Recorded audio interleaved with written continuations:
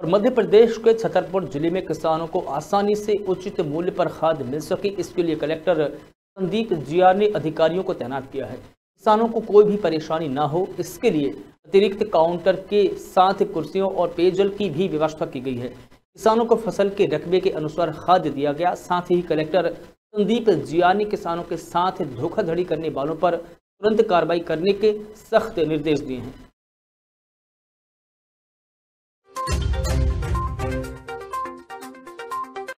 द्वारा हमारे किसान भाइयों को खाद व्यवस्थित तरीके से मिले, इसके लिए पूरे इंतज़ाम करने के निर्देश दिए गए हैं।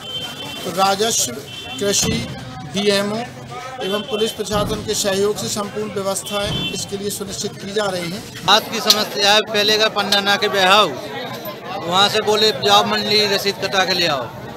अब इतने सब ऐसा लगे लाइन में सो अब अब का पता मिल रहा का नहीं मिल रहा वे बोले तुमसे रसीद काट के ले जाओ, फिर भी बे हाउस जाओ। और कहते उसे जाकर जहाँ जो बंदी कहते बोले अपने घर जाओ, फिर पैसे करो।